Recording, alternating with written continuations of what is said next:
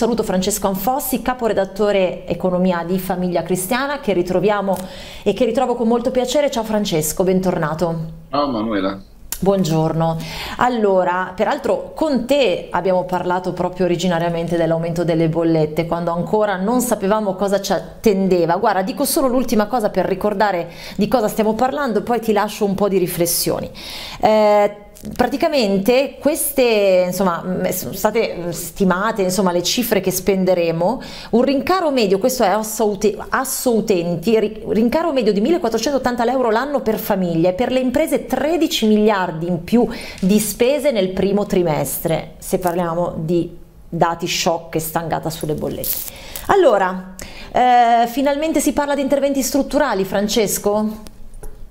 Sì, eh, senti, oggi è San Valentino, no? Eh, ti hanno sì. fatto gli auguri?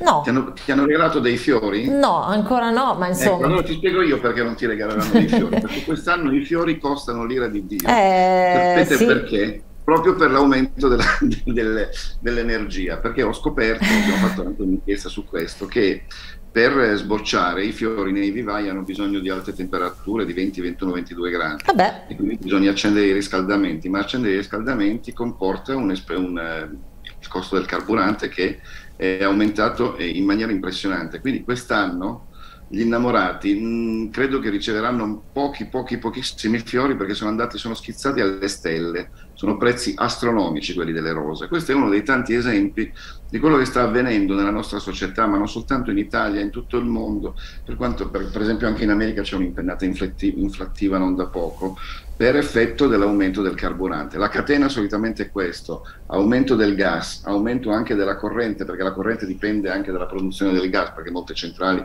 vanno, vanno a gas, quindi vengono, Sì. vengono utilizzati questo tipo di, di energia e, poi a catena, um, come un effetto domino, ehm, si alzano tutti gli altri prezzi perché ovviamente, non so, i gestori dei ristoranti, c'era un gestore di un ristorante mio amico che mi ha fatto vedere l'aumento della bolletta, ehm, l'ho fotografato, ce l'ho qui nel telefonino, adesso non, non lo faccio perché ci vorrebbe un po' di tempo a cercarla, ma praticamente da, mh, mi pare che da 1700 euro al mese di agosto è passata una roba come 7000 Sì, sì, euro. sì, sì, sì, Stiamo assolutamente. passando- stiamo vivendo un momento di grandi rincarichi che, eh, ricarichi che non riguarda ovviamente soltanto la bolletta della luce, provate a vedere, è raddoppiata praticamente. Mhm.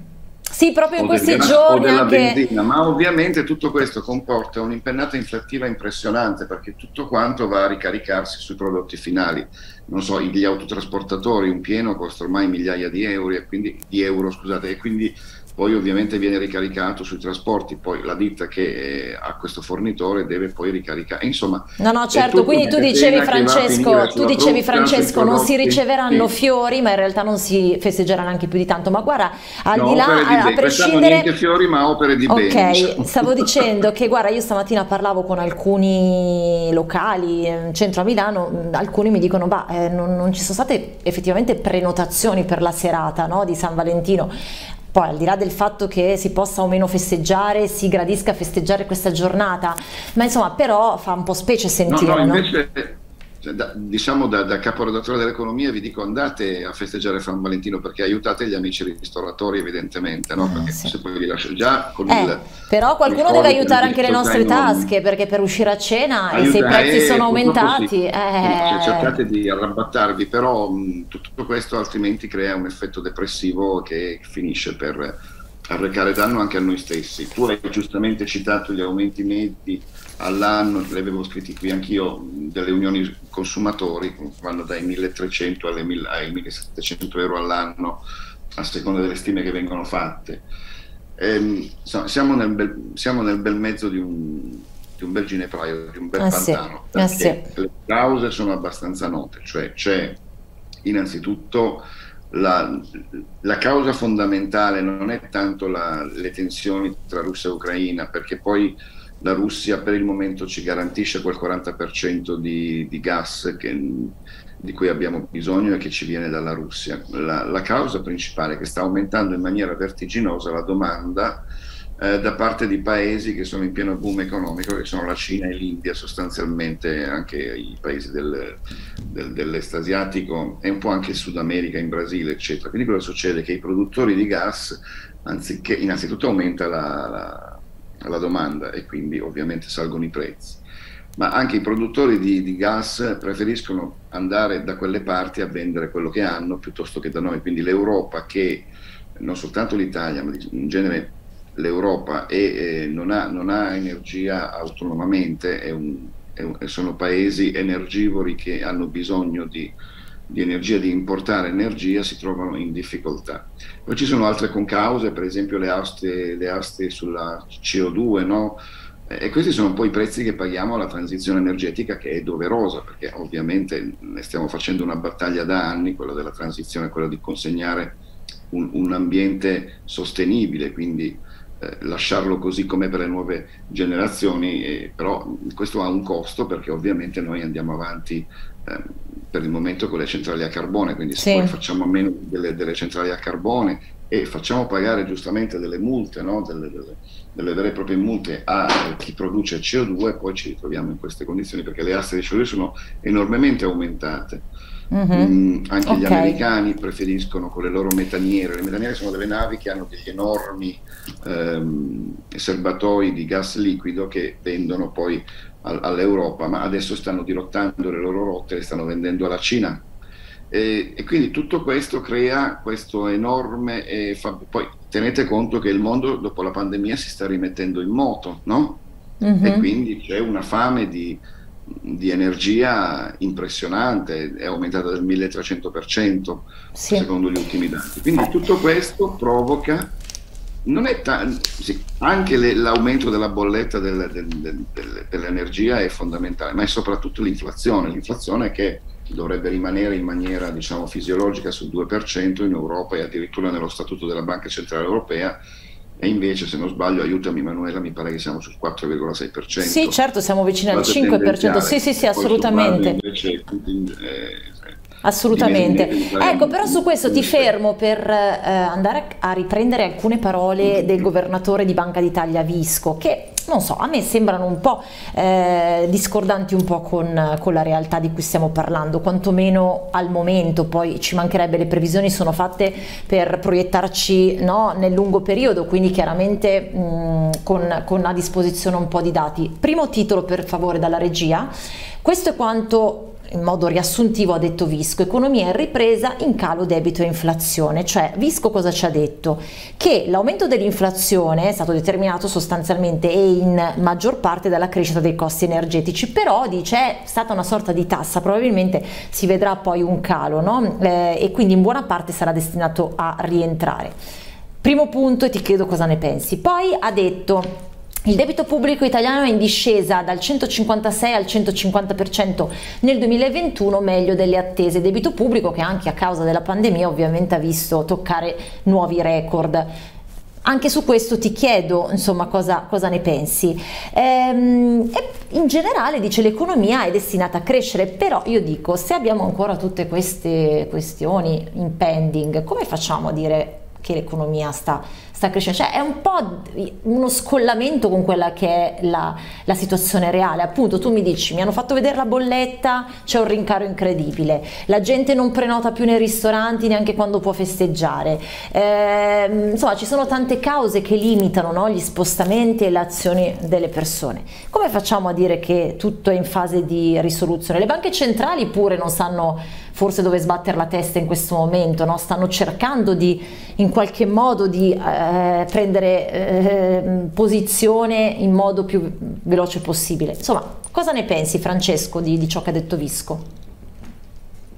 Innanzitutto se l'inflazione è in calo io ne sono, sono ben felice, non, non, se, se, lo dice lui che è il presidente di Banca Italia ci mancherebbe, è bellissima questa, questa notizia, però da quello che leggo non è così, nel senso che siamo sul 4,6%, quindi c'è un aumento dell'inflazione. Poi che ci sia la ripresa è una grande notizia, eh, però bisogna vedere a vantaggio di chi va questa ripresa, perché come ben sai l'inflazione è, è chiamata la tassa dei poveri, perché se uno guadagna 1400 euro al mese e l'inflazione gli risucchia 100 euro, sì. eh beh, è, è, è, pesante come, come, come, come, situazione. Se uno ne guadagna 10.000 al mese e l'inflazione gli rosicchia a 500, capisci che la, la sente di meno, no? Certo. La sente molto di meno, anche se in termini assoluti ha perso più quello che ne guadagna 10.000. Cioè il, il problema dell'inflazione, l'inflazione è una bestia, è una bestia che va a impattare soprattutto sui poveri, come una tassa, perché gli rosica potere d'acquisto. Certo. E quindi ehm, gioire perché l'Italia è in ripresa e poi eh, far aumentare l'inflazione come negli anni 70 è abbastanza negativa come soluzione per, per chi ha a cuore diciamo, un minimo di giustizia sociale. Dopodiché io credo che il governo non avesse, eh, soprattutto il governo dei tecnici, mi riferisco al ministro dell'economia, non era molto mh, turbato da queste impennate inflattive. Una volta tanto dobbiamo rendere atto che è stato il Parlamento, è stata l'alleanza di governo che, regge, che, la, che, regge il governo, cioè le forze di maggioranza che hanno, cioè quasi tutte, tranne se non sbaglio Fratelli d'Italia, che hanno fatto pressioni fortissime per, per, questi, mh, per questi, provvedimenti che vanno a eh, diminuire almeno in parte diciamo, gli effetti dell'inflazione. Altrimenti io ricordo delle dichiarazioni del ministro del, dell'economia che diceva no, in questo momento non sono previsti scostamenti di bilancio perché dobbiamo mantenere il bilancio, non possiamo fare interventi perché è spesa corrente, quindi non possiamo neanche utilizzare i fondi del PNRR. Cioè, capite che in questo caso sulle ragioni diciamo, di contenimento del bilancio, sul rigore del bilancio, contano molto di più le esigenze di giustizia sociale, di welfare, uh-huh. che devono assolutamente essere utilizzate devono essere assolutamente, ehm, come si può dire, eh, bisogna, bisogna, intervenire. Sì, bisogna sì, intervenire, sì, certo, certo. ci sono certo. fasce della popolazione che già soffrono per la pandemia, ho fatto l'esempio del ristoratore, non ci sono soltanto gli imprenditori, sono le famiglie ovviamente, tutto quanto. No, no, no, ma poi insomma ci sono anche dei settori, guarda Francesco scusami, sì, ci sì. sono anche dei settori eh, che peraltro mi, mi, sono ripromessa di risentire, tipo quelli, del, quelli della, dei lavoratori della notte, delle discoteche, per cui dopo un tempo prolungato di chiusura si parla di chiusura definitiva per il 30% di attività, cioè ma questo è solo un esempio, però strada facendo non possiamo dimenticarci che ci siamo persi per strada tante, tanti imprenditori imprenditori che hanno dovuto chiudere, soprattutto quando parliamo di piccole e medie imprese che poi sono l'ossatura della nostra economia. Tra Quindi... l'altro vanno tra l'altro a, a, gettare benzina sul fuoco nelle proteste Novax, no? perché sono, sono, è gente disperata che eh, certo. scende poi in piazza per, per, per i loro anche eh, giustamente non hanno più entrate. Anche, giusta, anche in certo. parte giustamente, non, non, del tutto, ma insomma... Cioè, eh, ma sai, sì, sì, sì, no, ma è, è, chiaro che dipende per cosa si protesta, però quando si protesta è perché giustamente non eh. si hanno aiuti e si vede l'attività chiudere, dice cosa faccio io, insomma... Ecco, per mm. quanto riguarda invece gli interventi strutturali, sono, sono, cose che dicono semplicemente per calmare la gente, mm. per infondere un po' di fiducia, perché tutti questi, cioè la transizione ecologica ha dei tempi, dei tempi molto lunghi, per cui non aspettiamoci benefici a breve termine, Sono l'unica speranza è che arrivi il prima possibile la primavera, così spegniamo i riscaldamenti e consumiamo di meno. Scusami la brutalità, ma questa no, no, è, la, no, no, guarda, guarda, è la sacrosanta verità. Chiedo, chiedo, alla mia regia di rimettere il titolo che avevamo fatto sulla stangata bolletta e poi passiamo oltre, ma in realtà sono, ecco, eh, non ho fatto apposta, ma ecco le cifre da brivido, si gioca brivido anche un po' sul fatto, senso, esatto, sul doppio senso, e però è vero, adesso fa ancora freddo, però il discorso è che continueremo ancora un po' e sono d'accordo con te quando dici che anche ammesso che verranno effettivamente portati avanti questi interventi strutturali, non è che vedremo il beneficio, non, non sono cose che Ma si no, risolvono in due giorni. che importa ah. il 95%, certo. 98% della, della, dell'energia, quindi inutile farci illusioni, non è che possiamo fare delle centrali eh, eoliche o, eh, o, di altro tipo, insomma, di, di, di, di verdi, diciamo, di in, in, due mesi. È chiaro che se ne riparla, se va bene, l'anno prossimo, ma tra anni direi. Quindi non c'è niente da fare, c'è da sperare nella, nella situazione internazionale che mm, si calmi un po' queste, queste, tensioni, questi eventi di guerra, ma soprattutto mm, niente, non, non, c'è nulla da fare, c'è poco da fare, insomma, sì, se non sì, intervenire. Sì con scostamenti di bilancio che vanno a lenire le sofferenze della popolazione meno abbiente. Mm-hmm. Ecco Francesco, io in realtà appunto ti ripropongo anche questo titolo, Crisi Russia-Ucraina, anche se abbiamo già detto molte cose, cosa aspettarsi, cioè eh, in questi giorni le carte sembrerebbero essersi un po' rimescolate, no? si sperava che in qualche modo invece la situazione potrebbe rientrare. Dalla regia grazie il titolo, così cambiamo eh, appunto argomento, crisi Russia-Ucraina e dicevo eh, sembrava che la situazione potesse in qualche modo rientrare, invece sembra che ci sia ancora più incertezza, cioè nonostante i colloqui, i dialoghi tra i vari interlocutori, insomma non siamo arrivati ancora a un dato di fatto. Ma dai dati che, di cui siamo in possesso in questo momento è in atto una grossa partita poker tra i due blocchi occidentale e orientale dei paesi dell'est, cioè del, della Russia sostanzialmente. Cioè, sì. È una sorta di ritorno alla guerra fredda e, e quindi di minacce dall'una e dall'altra parte. Eh, gli Stati Uniti dicono di, di, essere in possesso dei piani di invasione dell'Ucraina. Eh, L'Ucraina non fa parte della Nato, ma è difesa dalla Nato. I, insomma, i venti di guerra ci sono tutti però ci sono anche delle opzioni per uscire. Bisogna capire fino, fino a che punto Putin e Biden stiano bleffando uh, per, nel contesto diciamo, dello scacchiere economico mondiale, dello scacchiere mondiale, internazionale.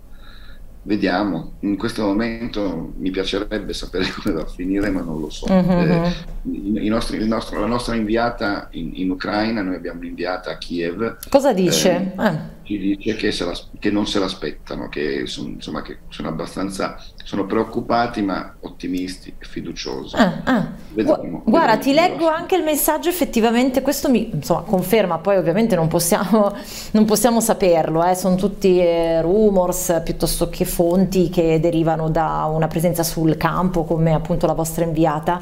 Eh, un amico scrive, eh, vabbè, dice la sua, gli statunitensi non ci hanno mai capito un tubo di guerre eh, mi pare che Putin abbia definito gli americani isterici, non ci sarà nessuna invasione ed è quello che gli ucraini dicono a me, evidentemente a qualche amico dell'Ucraina e tu dici che eh, insomma sono spaventati ma non credono che poi possa esserci l'invasione. Sono tranquilli, scrive anche questo amico. E va bene, eh, e poi lui dice poi pure noi dobbiamo seguire gli americani con le sanzioni. E poi c'è tutto il tema delle sanzioni, bisogna insomma mm, essere molto cauti in questa fase.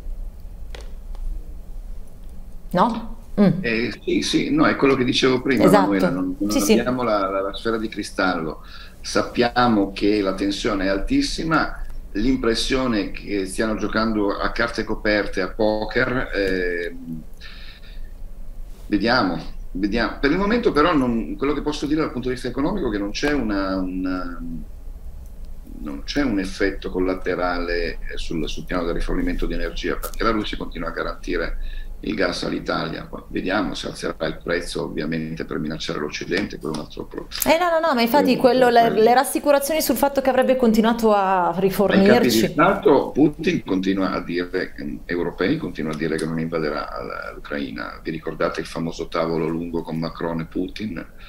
Lì gli ha detto che non, non avrebbe invaso l'Ucraina. Poi tutto può essere. Anche noi siamo, anche noi con, che, che, che, tra l'altro siamo in chiusura stamattina del giornale, non sappiamo, mh, mm, siamo anche in difficoltà, cioè è molto complicato anche scrivere qualcosa adesso quando il giornale poi uscirà, che magari mh, mm, eh, ci saranno de- degli sviluppi, quindi sì, sì. Ecco, ecco, un'ultima domanda, guarda, mi hai letto nel pensiero, ti stavo chiedendo su quali altre, vabbè, queste sicuramente sono le questioni su cui eh, starete ragionando con il nuovo numero, altre questioni che state evidenziando in questo periodo, Francesco, o sono quelle che, di cui abbiamo parlato? Ma noi abbiamo, mm, noi abbiamo dedicato una copertina al caro bollette perché era, era, fondamentale. Poi ci sono altre questioni di, di tipo etico perché stanno, la, la, consulta sta per eh, vagliare eh, i, i, numerosi referendum eh, proposti dai vari comitati promotori sulla giustizia, sull'eutanasia, sul suicidio assistito. Sì, sì. Un'altra delle questioni che eh, insomma, coinvolgeranno gli italiani a breve.